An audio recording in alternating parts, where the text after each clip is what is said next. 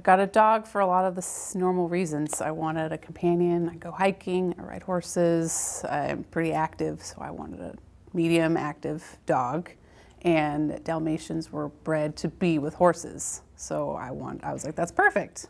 Got the breeder, met the breeder. We got to the point where I'm getting the dog and she said, I have the perfect dog for you.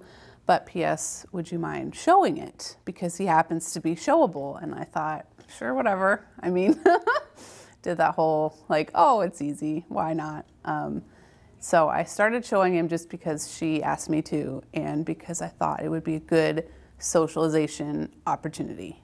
You know, those are all good skills any dog should have. Be in public, be, you know, touched, manners, you know, appropriate skills. So I started doing it that way. The, the Portland Rose City Classic, January of this year. Tell me about that show. That was very exciting. Uh, we won a best of specialty at that show in a ring of like 25 other Dalmatians.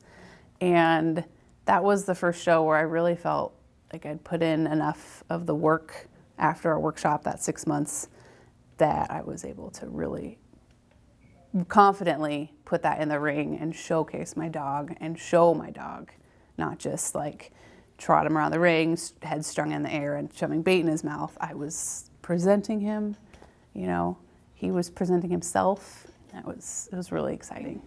Beat them all. Yes, yes, we did, and yeah, we did. It was amazing because he was. So how did you go from the beginning part of showing and then us meeting and getting together? The beginning part of showing was kind of a disaster. Um, I didn't know what I was doing and I went to handling classes like I in my neighborhood and I went to a couple shows. If he would let judges examine him was the biggest problem. There was a lot of sh class shows where we actually got excused because he wouldn't let anyone touch him and he couldn't be examined.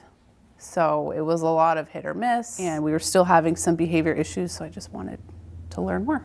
And that's how I found you.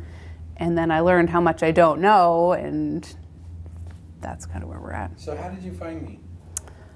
How did I find um, your videos on YouTube? First of all, I watched a lot of those, and I think I just found a flyer on maybe Facebook.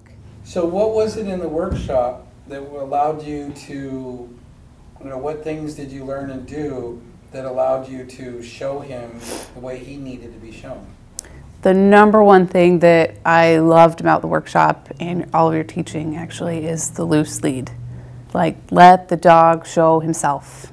You don't need to be cranking on his neck. We don't need tension because that travels down the line. It looks ugly. The dogs don't like it. And now I look at everyone else at dog shows and I look at it so much differently.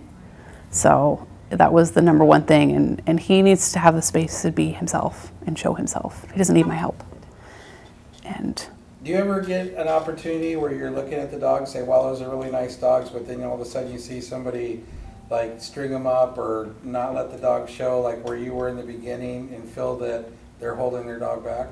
Absolutely, yeah. Especially in our breed, um, the thing that really kind of starts to annoy me now, now that I know more, is the down and back. They come from the down and back. They get right up in the judge's face, and the handler has got the, their back to the judge, and they're staring down at the dog trying to get the expression from their dog. And the judge can't see it. They have to, the judge has to actually walk around and work harder to look at that dog. And it's one of my, like now it's my pet peeve. Get out of the way. the biggest complaint is they say that you can't compete against the pros. Tell me about that.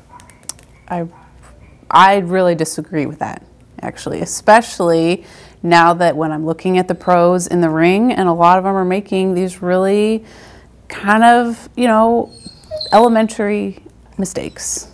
You know, stringing the dog up, getting in the way, shoving food in your mouth. All those little things take away from the quality of the presentation. And it really stands out when you can make your dog go around on a loose leash when you can stand back, you can give a little space. You can make them stand without shoving a loaf of bread in their mouth. There are a lot of amazing pros out there. there are a lot of handlers that Sit. can get the most out of their dogs and and allow the judges to see what they need to see for them to evaluate them. And I commend them. I mean, it's it's it's like watching a work of art, watching some of these handlers. And you know, we've got some great ones on the West Coast, the East Coast. Um, I've seen some in in Europe, um, stunning in Asia. You know, all over the world. But you know, those are the handlers that the people need Yeah. to to watch and duplicate, not the ones that are stringing the dogs up, that are yanking on the dogs, that are you know do shoving the piece of bait inside of their face so instead of training the dog to stand. You know, the things that you're doing now Yeah. are a, are able to let the judge find your dog easier, and that's why now you're beating some of the other people out there, especially in this breed right here. You know, beating some of the other people out there that aren't getting the most out of their dogs. So Yeah. for those people who say you can't compete against the handler, well, my theory is if you're going to compete against the handler, you got to put as much work or more into competing with the handlers. Exactly. And that's exactly what you're doing, and that's why you're being so successful now. Yeah. So Yeah. kudos to you, my dear. Thank you. Yeah, I think it's almost easier because we don't have, I have one dog. I don't have 15 dogs. You know, I get one dog I get to train, condition, groom. It's, it is a lot easier. And I think if people would take a little bit of time to train for it as much as they train for agility or obedience, then it would be, you would be successful. Yeah. As you've proven. Yeah. Yeah. That's right.